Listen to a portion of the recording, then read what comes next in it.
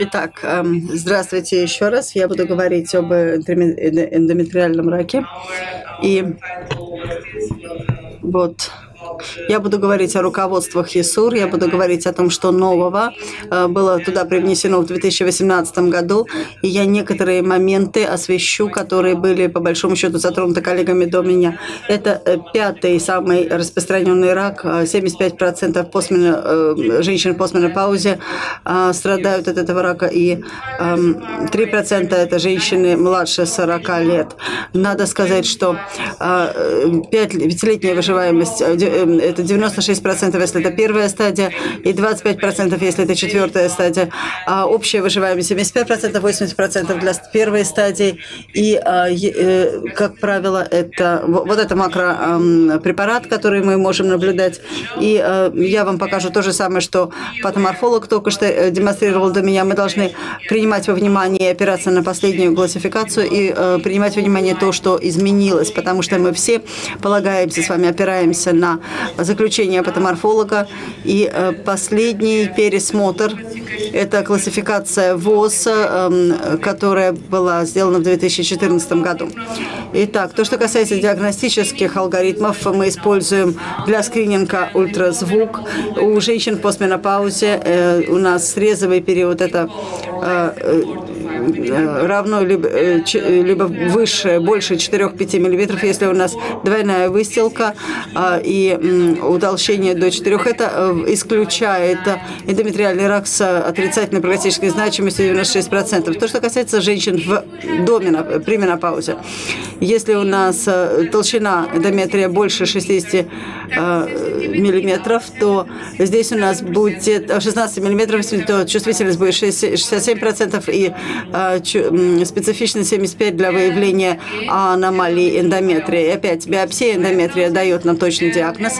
И МРТ – это то, что мы выбираем для того, чтобы стадировать до, до хирургически, до хирургии. Мы все еще полагаемся на ФИГУ 2009 2009 года. Это ТНМ-классификация, это э, патологическая хирургическая классификация, которой мы все пользуемся, знаем с вами стадии, о которых мы говорили уже ранее. И я могу вам э, немножечко рассказать о том, что может происходить, когда мы делаем э, оценку по МРТ. Э, стадирование в 2009 году Европейское общество радиологов СУР опубликовала руководство по стадированию рака эндометрия, но с тех пор они не обновлялись, соответственно. В этом году было только сделано обновление. Это были новые руководства Большого э, э, общества, Европейского общества урогинекологов и э, радиологов. А, здесь были пересмотрены, по большому счету, подходы к стадированию и МРТ включено для того, чтобы отслеживать а, осложнения от терапии и также ответ на терапевтические и также отслеживание рецидивов. И какие же у нас вопросы? Э, это прежде всего глубина инвазии в миометрии, если у нас инвазия в строму шейки и если у нас увеличение, увеличенные лимфатические узлы. Это очень важно для планирования и для прогноза. Каким образом МРТ влияет на планирование терапии? Прежде всего, это зависит от стадирования, это зависит от сочетных патологий, которые наблюдаются у того или иного пациента, как правило, это гистерэктомия, если у нас мочеточники задействованы, или балтеральная э, солинга э, э, и э, если у нас глубина инвазии или э, глубокая инвазия, или у нас э, инвазия в э, шейку, то в этом случае это может быть э, э, также диссекция э, узлов лимфатических либо та, э, тазовых и параортальной э, зоны. Итак, я уже сказала, э, что вышли обновленные э, руководства ИСУР, и с точки зрения э, того, как мы готовим пациента, пациентка у нас сегодня, а, как мы осматриваем пациентку, прежде всего мы используем МРТ а, полтора Тесла, мы используем телепроскамин, мы используем внутримышечное или внутривенное введение или глюкогон внутривенно скополамин внутримышечно внутривенно или глюкогон внутривенно. Мы используем катушки для оценки малого таза. Мы также используем МРТ для пациенток, пациенток в, в, во время Э, то, что касается последовательности Т2, последовательности в загитальной или в аксиальной косой эм, проекции являются абсолютно, э, абсолютно обязательными. Также, э, также у нас здесь срезы должны быть меньше 4 мм, не больше в любом случае. При подобной последовательности также очень важно, что мы не рекомендуем эм, последовательности с жироподавлением, в отличие от цервикального рака. То, что касается диффузионно взвешенных изображений, они рекомендуются сегодня, и обычно мы делаем две э, подобные последствия. Первое – это аксиальная э, таза и э, аксиальная, э, и аксиальная э, опухоли. Соответственно, мы делаем аксиальное всего тела и э, аксиальную, э, извините, тело матки. И э, то, что касается нового в этих руководствах, я полагаю, что очень многое изменится, потому что сегодня мы используем все B1000, и мы э, используем э, уже сегодня не тысяча, а все переходим на две тысячи. Соответственно, это не включено в руководство, и вот это будет изменено, и вот эта аксиальная косая проекция, она абсолютно необходима, если мы говорим о раке тела матки. Также э, была проведена Э, была, был проведен опрос достаточно большой э, выборки. И, э, соответственно, это не мое личное мнение, это а, мнение очень многих экспертов. То, что касается использования контраста при эндометриальном раке, мы используем а, фацет, то есть жир, 3D э, с жироподавлением в течение двух минут и трех э, секунд а после введения контраста. Это очень важно. И э, также это самая лучшая диагностическая значимость для выявления рака миометрии. Вы видите, что здесь у нас может быть также многофазовый контраст, или это может быть единичный э, снимок или срез в косой проекции. И э, то, что касается лимфатических узлов, мы используем Т2 взвешенное изображение или, э, или DVI для для того, чтобы выявить дистальные лимфатические узлы в тракальной области, например. И вы понимаете, что мы говорим о брюшной полости. Мы используем здесь диффузионно взвешенные или аксиальные проекции, но для пациентов с очень высоким риском э, рака эндометрия. Э, в противном случае вы не увидите верхнюю часть абдоминальной полости или вам придется отправить пациентку на КТ. И это очень долговременная и процедура, и зачастую мы теряем этих пациенток просто или диагностируем слишком поздно. То есть, по большому счету, у нас есть пациенты, пациентки, где вы можете увидеть высоко дифференцированные опухоли, и э, мы можем захватить верхнюю часть э, абдоминальной полости сразу. То, что касается цервикального рака, э, техника МРТ, пациентки из-за стресса вот вы видите, что здесь у нас а, э, э, мочевой пузырь, а, безусловно, будет наполовину заполненным. Во-первых, из-за того, что она очень нервничает.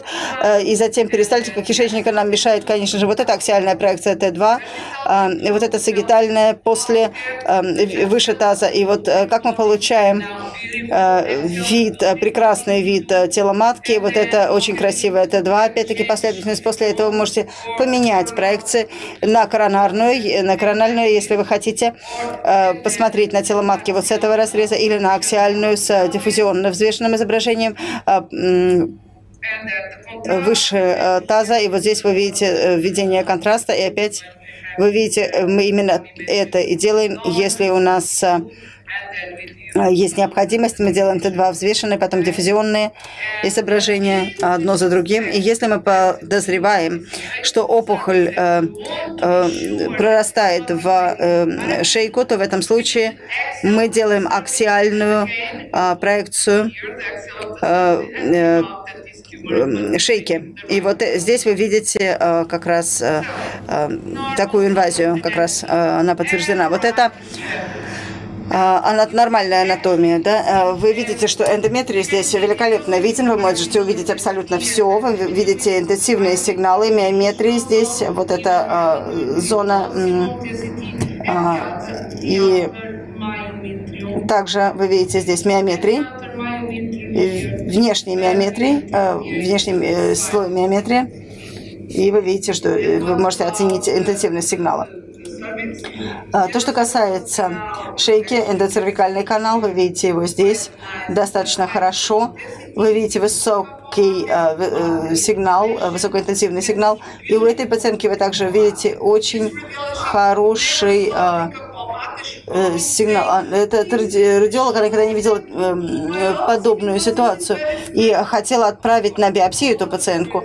Но, безусловно, мы все знаем а, сегодня, а, что есть уже публикация о подобной ситуации. Вы можете почитать. Это нормальная абсолютно анатомия. Вы видите, что цервикальная строма здесь дает нам сигнал достаточно интенсивный. И то, что касается накопления контраста, на Т2 взвешенном а, изображении через 30 секунд вы можете выявить маленькие новообразования, которые а, дают нам повышенный сигнал при нормальном миометрии.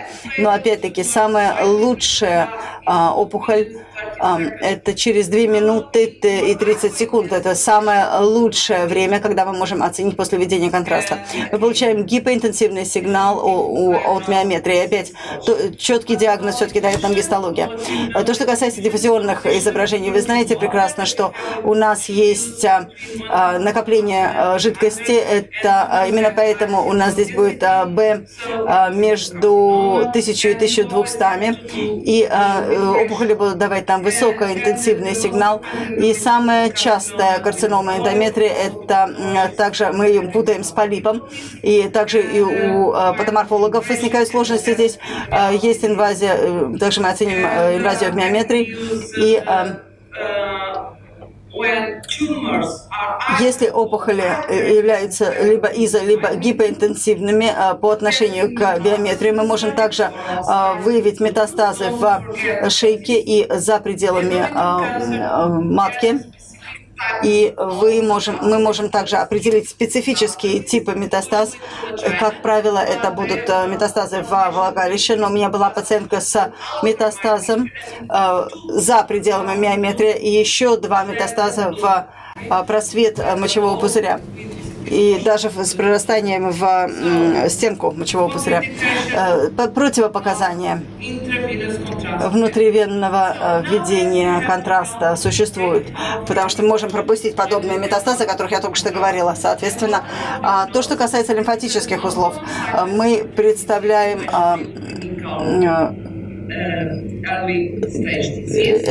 они могут быть у пациентов с, на ранних стадиях, Э, при раке эндометриальной лимфоэдектомия действительно является достаточно противоречивой. И хирургическое э, стадирование а, это улучшает, но тем не менее не никаким образом не влияет на э, выживаемость. Надо сказать, что рутинная лимфоэдектомия не является методом, который мы выбираем при ранних стадиях. А вот это очень важный момент. Я на самом деле могу сказать, что в моем центре я получаю всех пациентов очень высокой группы риска, э, со всей Португалии, наверное, потому что у нас у меня столько пациенток, не знаю, как у вас, но у нас очень много пациенток. Я полагаю, что э, именно потому, что мы являемся третичным высокоэкспертным центром. Соответственно, мы лечим вот этих пациенток, э, у которых высокий риск развития метастазов в области малого таза и также мы, вы, вы можете сравнить э, уровень выявляемости при помощи МРТ и ПЭТ-КТ. У нас нет здесь э, серьезной разницы, значимой разницы. ПЭТ-КТ э, лучше выявляет удаленные метастазы. И есть несколько исследований, которые говорят о том, что у нас есть, так скажем, перехлест между диффузионно взвешенным МРТ и есть ложноположительные случаи выявления а, злокачественных узлов и э, лимфоденектомия опять-таки требуется для пациенток очень высокой группы э, или при местном распространенном э, раке. Я могу вам продемонстрировать вот такую таблицу. Это таблица Американского колледжа радиологов. Это э, критерии, которые мы э, также принимаем. Для МРТ это будет 9, и для КТ грудной клетки с введением контраста. Вы видите справа не мог, никак не двигается курсор, но вот вы видите, что здесь у нас а, эта процедура рекомендуется только для пациентов высокой группы риска. Соответственно, мы задаем себе вопросы. Должно быть ПЭТ-КТ для этих пациенток, а, КТ грудной клетки с введением контраста. И это то, что классифицируется как 8 по рекомендациям. И затем 7 у нас будет для МРТ брюшной полости с и без контраста. Я не использую э, контраста для эм, э, МРТ в брюшной полости. Я только его использую, или диффузионно использую с контрастом только у пациентов с очень высокой группой риска. Здесь у нас 9 для оценки э, лимфатических узлов при помощи ПЭТ-КТ. Это важно для пациенток высокой группы риска. А, и э, также, так скажем, э, высоко э, дифференцированными опухолями. Вот это пациентка 73 лет с серозной эндометриальной карциномой. А, запомните, пожалуйста, это была серозная опухоль, не дифференцированная. А, вы таких пациенток, скорее всего, видите, это была серозная эндометриальная карцинома. И вот это это э, метастаз лимфатический узел и эм, э, пациентки, э, еще одна пациентка 57 лет, плохо дифференцированная эндометриальная карцинома. И что мы здесь видим? Мы видим здесь метастазы в легкое, вы видите ПЭТ-КТ. И принимайте внимание подобные случаи. Затем ключевая последовательность для нас Т2 взвешенная последовательности. Вы видите, что что здесь у нас может быть более высокий э, сигнал от внутреннего миометрия. Вы обязательно должны диагноз проводить с, полип, э, с полипами, потому что их легко очень выявить на МРТ. И вы видите вот это изображение, которое очень хорошо отражает то, как все это выглядит. Вы видите здесь центральное ядро, такая ядерная структура. И также вы должны принимать во внимание лиомиома, такая э, слизистая лиомиома с низким интенсив, низкой интенсивностью сигнала на Т2 в взвешенном э, изображении, если нет дегенеративного процесса. И опять опять-таки, здесь у нас гистология нам поможет в диагнозе. У нас есть некоторые ограничения, конечно же, при оценке эндометриального рака. У нас могут быть проблемы с диагностикой, у нас могут быть проблемы со стадированием. А, и а, если у нас вот такой а, большой рак, крупный рак, это эндометрий, это шейка, что это? Вы, безусловно, ошибетесь. И патоморфолог всегда будет иметь последнее слово мы можем все что угодно увидеть, но именно патоморфолог скажет э, последнее свое заключительное слово. Иногда э, очень сложно есть 3%, потому что это неадекватные находки на биопсии, и это аденокарцинома. Э, то есть, соответственно, мы не знаем, где это в эндометрии, в шейке, мы не знаем на биопсии. И вы видите, вы смотрите вот такие критерии, которые были описаны вот в этой публикации 2011 года. Она очень важна от Варгаса из Соединенных Штатов. И вы должны посмотреть на эпицентр э, опухоли больше, чем 50%. Эндометриальное утолщение эндометрия, затем инвазия в миометрии, самая гетерогенная э, инфильтративная э, часть опухоли. В этом случае мы решили, что это эндометриальная карцинома. Итак, то, что касается других проблем, а, доброкачественные а, поражения а, зачастую могут выглядеть как эндометриальный рак. Полип я вам уже показывала на диффузионном взвешенном изображении. Вы видите, как хорошо себя ведет полип. Вот это полип. Безусловно, здесь вы видите, что у нас нет ограничений, то есть нет злокачественного процесса. ADC э, будет гораздо меньше, э, чем у доброкачественного и у нормального эндометрия. То, что касается локализации опухоли. Вот это очень особенная ситуация. Я его здесь вам показываю, потому что все из нас ошибаются. И это была одна из моих ошибок, на самом деле. Одна из них. Одна из многих, которые я сделала э, в своей жизни. Вот здесь у нас небольшая опухоль, э, и здесь вы видите ее на сагитальной и на косой эм, аксиальной э, проекции. И эта пациентка, у нее был эндометриальный рак, после пяти лет, э, после того, ее пролечили э, лучевой терапию, она получала лучевую терапию по поводу шей, э, рака шей, шейки. Поэтому у нее уже фактически нету шейки, и затем эта опухоль начала распространяться и расти, и я ее не уловила вначале. Почему я ее пропустила? Потому что у этой пациентки, у нее вот такая была матка, она была похожа на Микки Мауса с двумя ушами. То есть это были две леомиомы в каждом углу. Поэтому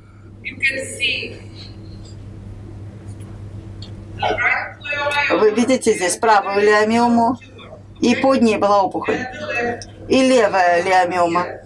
Вот здесь. Это черный-черный такой сигнал.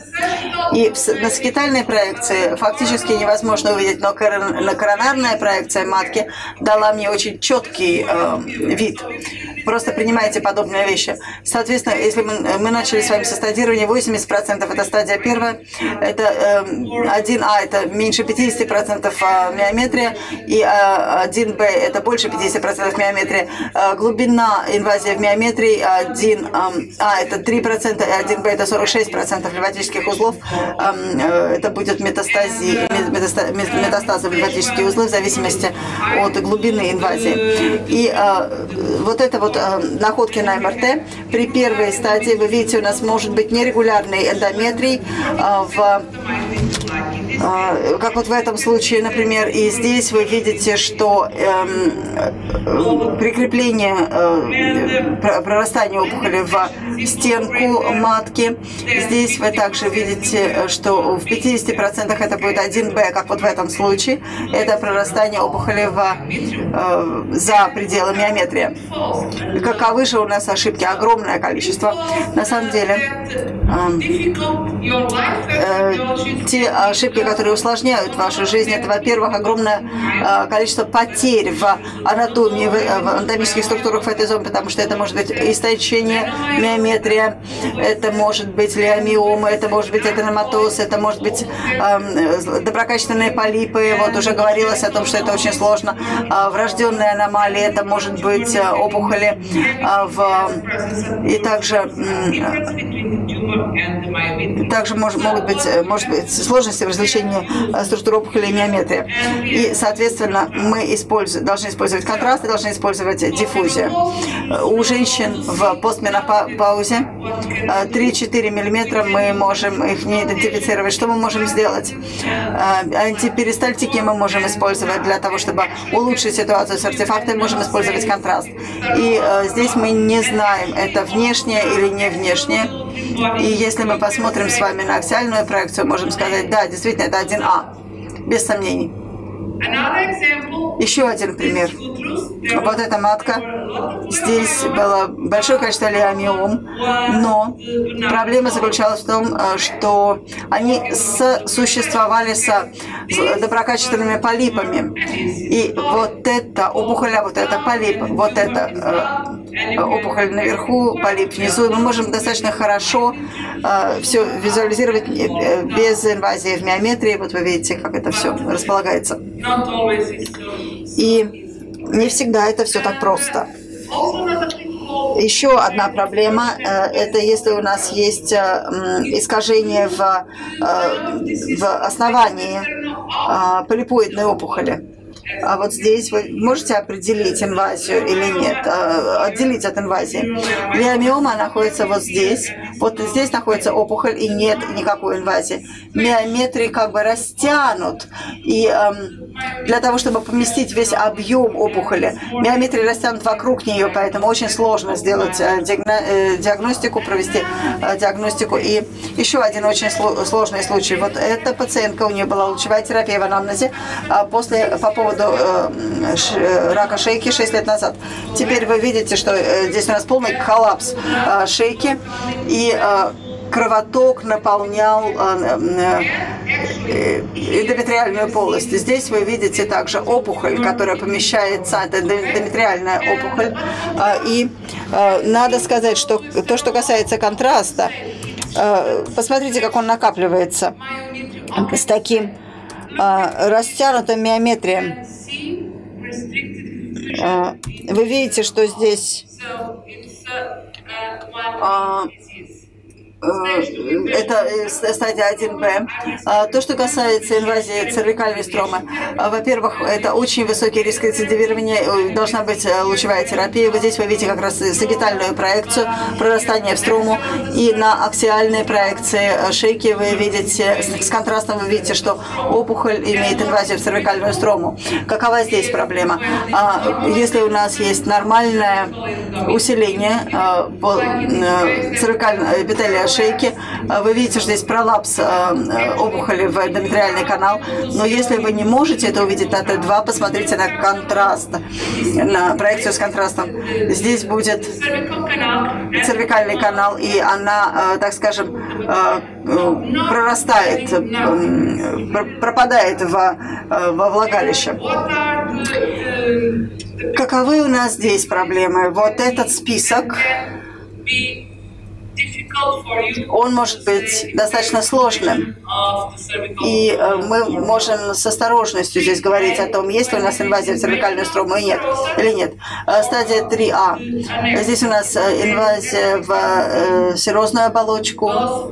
И вот посмотрите, здесь 3, 3А. Это список тех опухолей, которые могут быть, э, могут осложнять вашу жизнь в значительной степени. Вы видите... Вот, э, вы видите, э, по большому счету, инфильтрацию.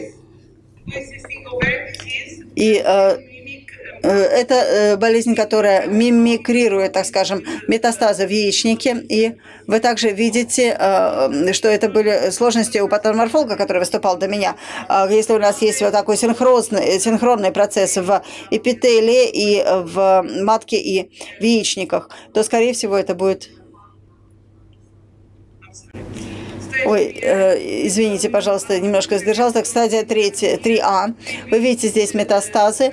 3Б. А, здесь у нас прорастание в влагалище или в параметрии.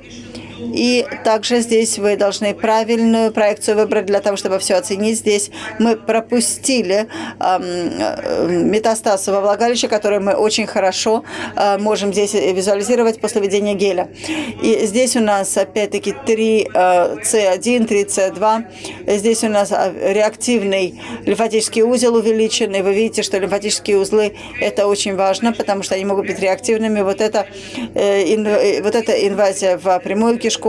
Э, здесь вы видите 4А, 4Б, потому что удаленные метастазы. И здесь вы видите э, диффузионно взвешенное изображение.